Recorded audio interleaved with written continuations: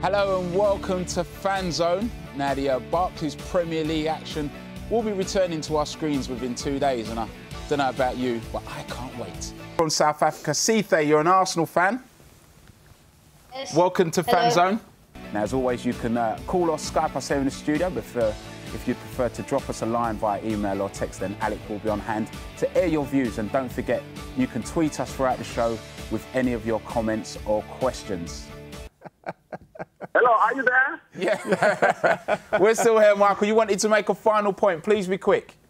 Uh, to fill the void and help us get our football fix for now, I'm delighted to say joining us on the Fan Zone sofa for the very first time is ex-Manchester United and Everton striker Louis Saha. Ife, I'm back next Thursday at three o'clock. I'm hoping you're going to call again. Okay, I'll call again just for you. Top man. um, that's it from us for another fan zone today. Thank you very much uh, to Jackie Oatley and, of course, to uh, Danny Higginbottom. Uh, fan zone will be back tomorrow with James Richardson. I'll be back here next week. We've got a week off the Premier League. Until then, I will see you then.